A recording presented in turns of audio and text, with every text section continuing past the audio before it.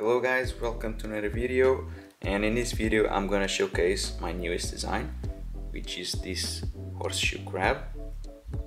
Here it is from the top, not that impressive but from the back it looks, from the bottom it looks way better. Um, so we have the gills here, these flaps. And we have the five pairs of legs. Then we have some teeth. I'm not sure if they are teeth or actually smaller legs uh, but yeah then we have like these spikes here tail carapace and yeah that's it. So this is a pretty simple design. And now I'm just gonna show you what was this design process for this origami. So first off what is a horseshoe crab? And to answer that let me show you these weird pictures of this weird animal that looks like it lived like a million years ago but yeah, this is a real animal. And honestly, it's one of my favorite animals. I really like this one. Um, so yeah, what are the important features of of this animal? So we have the horseshoe carapace.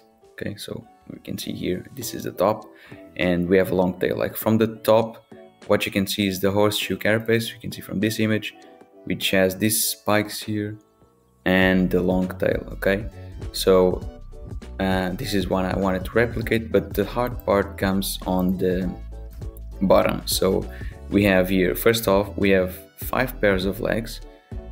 I I, all, uh, uh, I only noticed this after but we also like each leg ends in two tips instead of one but I only did one. Uh, but yeah we have the legs then we have the gills here and then we have these little things here. I don't know I don't know if you can see it but I'm not sure if they are legs, if it's if it's his mouth. Uh, I guess it's his mouth. Like here, it's a mouth, and this is just to help him eat. I guess. Who knows? Uh, but yeah, the hard part would be to get all the details here on the bottom. Um, so my first attempt, which was uh, which I don't actually have the crease pattern, but I'll show you a real uh, picture here, was this. So here is the first attempt like the legs are first of all there's one less leg and they are way too spread from each other. Yeah the carapace is really big and the tail is really small. Yeah so that was a pretty bad attempt. Um, I guess the things that I did not like about it was the fact that the legs were too far apart from each other and which made the carapace way too big and therefore the tail was a bit too small. Um, so I decided to do uh, another attempt and the thing that I uh, changed was first off the distance between the legs. Like you can, like I, I forgot to mention, but the way I designed this crease pattern was first I made a small, very simple base on Box Pleating Studio, BP Studio, which is another software for designing origamis. And in case you want to see like a tutorial on it let me know. But yeah i did a small base on that one. And what the first thing that i changed was this the space that there was between each legs. Like if, on the first attempt i had one unit separating each leg but then each leg was two units so that made the proportions a bit weird. So what i did was i made the two first legs join uh, so the two first legs were not separated and then I separated then I put a one unit river and then I put the three uh, remaining legs. So that doesn't show on the um, on the final model because I just crimped it a bit to hide it but yeah you can see here so we have like one leg one leg and then we have like a one unit river somewhere here it's kind of hard to show you here exactly where it is but then we have uh, another leg here one point here another point here. So these ones you can see that this is three and this is only two like so you have a separation here in between. Uh, the other thing that I wanted to do was add gills uh, which I did by this. It's only one one side but that's because I'm too lazy to draw it here. Um, so I had here the gills and I also had it, as added some. Uh, I'm not sure if I did this on the first one, but I had this uh, level shifter to make the carapace a bit wider. Okay, so because I wanted the carapace to cover the legs which yeah i don't think i have it on the first uh, on the first attempt so that was the um, uh, the main uh, changes that i did and this crease pattern actually gets something really close to what i wanted i will later show the comparison like in the for the real origami for the collapsed origami for this space and for the final and the final one it's it's this one okay so let me first get them in comparison so you can actually see. So the first thing I changed were the gills, uh, where they are placed. Like you will see what differences does this make on the, the origami, I will show you.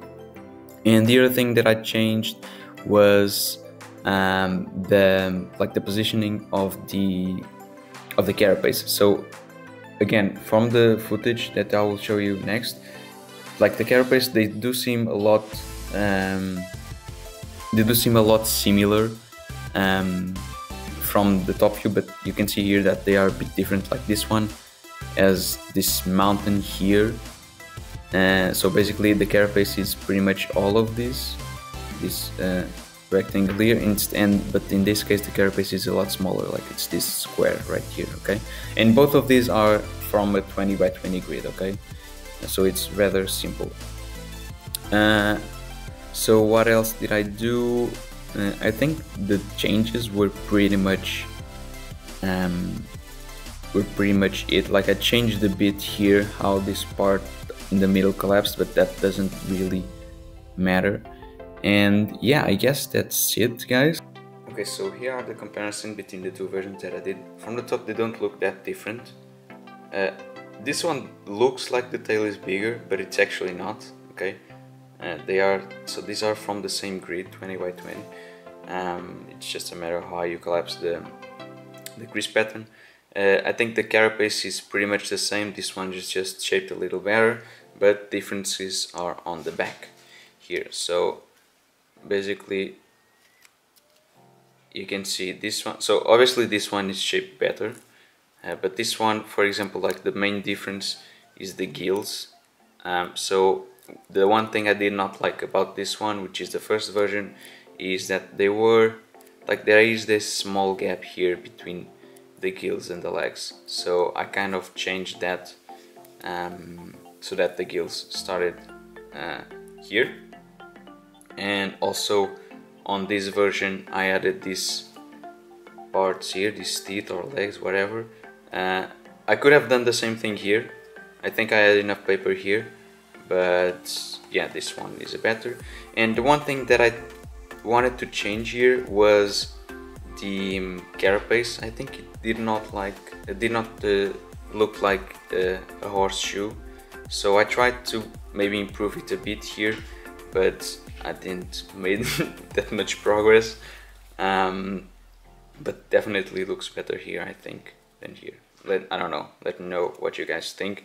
Uh, obviously this one is shaped or not better but I, at least I put more time into shaping this one than this one.